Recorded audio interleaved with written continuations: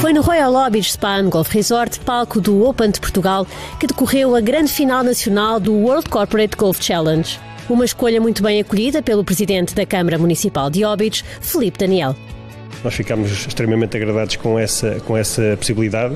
Fizemos todos os nossos possíveis para dar o melhor apoio também a esta iniciativa, até para que eh, possamos dar a conhecer ainda melhor aquilo que é o Conselho de Óbidos. Muitas das vezes somos só conhecidos por, pelo que se passa dentro das muralhas, mas Óbidos tem de facto eh, um património, quer natural, quer cultural, muito rico eh, e aqui temos a prova que um evento desta natureza, que, é, que está aqui a ser muito bem recebido, já tive aqui por parte da organização esse feedback, que está a correr muito bem e agrada-nos naturalmente naturalmente dar a conhecer também esta oferta que Óbidos tem eh, para além da Vila Muralhada. O World Corporate Golf Challenge é uma, é uma prova já bastante bem, bem conceituada no, no calendário anual de provas em Portugal e, e recebermos aqui o, a final Uh, é uma honra, uh, porque é uma prova bastante importante. Nós temos aqui, acho que o campo do Royal Óbidos é um campo bom para uma, para uma final de um circuito destes. É um campo desafiante, eh, eh, não é fácil, é um campo comprido, tem as suas, as suas características e, portanto, eu acho que, que, que é o palco ideal para uma, para uma, para uma final de, uma prova desta categoria. No desafiante traçado desenhado pelo mítico Seve Balesteros, apresentaram-se 72 jogadores com expectativas elevadas e handicaps baixos, promovendo ao longo dos 18 buracos muita competição. Entre momentos de animado convívio, a luta pelos melhores resultados foi acesa e no final foi necessário um play-off para atribuir o título nacional e o passaporte para a final mundial, que terá lugar em Tenerife no próximo mês de outubro. Numa prova em que 10 equipas somaram mais de 40 pontos, a Audi de César Campos e Paulo Castelo cumpriram o par do campo com 44 pontos e terminaram empatados com a Alberto Mora Galeana, de Manuel Baviera e Guilherme Mestre Mas. No desempate, levou a melhor a dupla portuguesa, que em ano de estreia irá representar Portugal na final da 29 edição do Campeonato do Mundo de Empresas.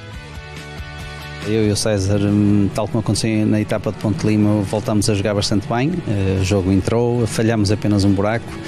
Uh, a organização, como sempre, estava excelente. O campo é um campo super desafiante, uh, digno de um, de um Open de Portugal, não é?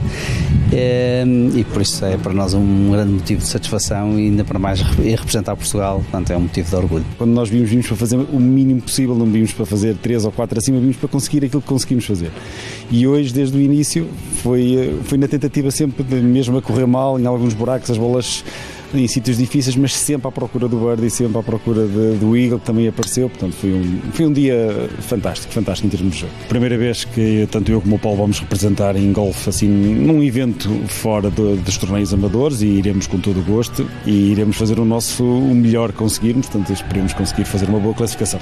Agrada à empresa campeã nacional numa jornada desportiva, também pautada por alguns momentos culturais, foi tempo de fazer o balanço da 23ª edição portuguesa do World Corporate Golf Challenge e lançar 2023. Nosso balanço é muito positivo. Depois de dois anos difíceis e atípicos, este ano conseguimos superar expectativas. Tivemos uma grande adesão por parte de empresas participantes e também por parte de empresas patrocinadoras. E agora é rumo a Tenerife, tentar defender o título, trazer a taça para Portugal e iremos iniciar a organização da edição 2023, que trará com toda a certeza mais novidades. Se este ano foi realmente muito positivo, é um desafio agora para nós, é uma exigência muito grande, mas eu acho que nós vamos conseguir superar. Aliás, ele já está a ser preparado preparado, portanto, não só a nível de competição, como etapas diferentes, novos parceiros, manter os mesmos de preferência, tentar aqui manter uma família de, de, de parceiros e, e, portanto, o desafio está lançado e a nossa responsabilidade agora é, é enorme, mas acho que vamos conseguir atingir. Foi assim. Foi assim em festa que chegou ao fim mais uma edição da etapa portuguesa do World Corporate Golf Challenge.